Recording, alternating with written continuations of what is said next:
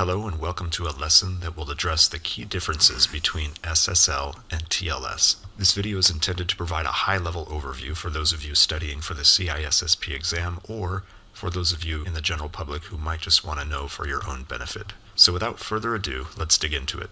SSL stands for Secure Sockets Layer and TLS stands for Transport Layer Security.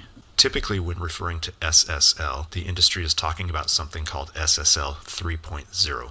SSL is an example of what ISC squared used to call hybrid cryptography, which basically means it's a method of using both asymmetric and symmetric cryptography to send secure communications. SSL and TLS are both represented by the padlock icon in your browser when you visit a website. TLS 1.0 and 1.1 are the sequels to SSL, they are basically the same protocol as SSL, but are considered vulnerable. TLS 1.2 and 1.3 are the most recent versions and considered secure. So what are the differences between SSL and TLS? To do that, let's first quickly talk about the similarities. SSL and TLS basically follow the same process. There are some subtle differences, but unless you're working in this field, you probably don't need to know their finer details. For information purposes, there is a client and server handshake process, followed by a key exchange, followed by the encryption of data sent between client and server. If you'd like a little more information on how that process works, we have a separate video that covers asymmetric encryption, so I recommend watching that where we explain with visuals how the process works. Both protocols can use an algorithm called RSA, or Rivest-Shamir-Adleman for key exchange. And the terms SSL and TLS certificate mean the same thing. In other words, if you say to someone that you have a TLS certificate or an SSL certificate, it basically means the same thing. These terms are often used interchangeably in the industry. So now let's look at some differences.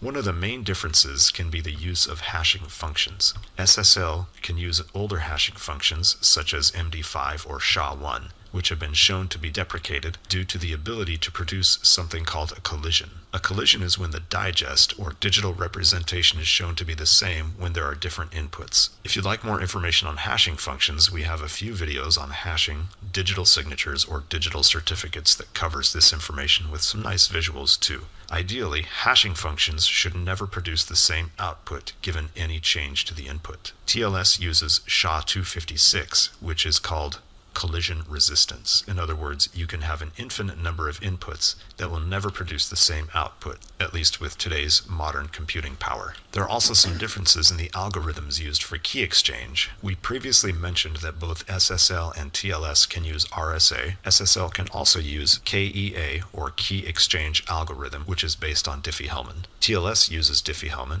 or DH, variations, which are asymmetric algorithms, or PSK, which stands for Pre-Shared Key key protocol. Once the handshake process is complete and a symmetric key is agreed on, SSL uses the Data Encryption Standard, or DES, and the RC4 cipher. TLS uses the much stronger AES, or Advanced Encryption Standard. SSL uses something called a message authentication code, whereas TLS uses a hashed message authentication code. The difference between these two functions and how they're used in SSL versus TLS gets pretty far down into the weeds, so I won't be covering it in this video.